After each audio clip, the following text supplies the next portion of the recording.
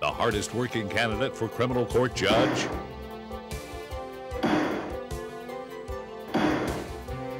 Criminal court judge Ken Irvine. He's fair, firm, full time, and hard working. The most experienced candidate for criminal court judge?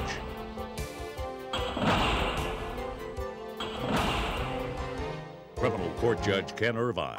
He's fair, firm, full time, and the most experienced.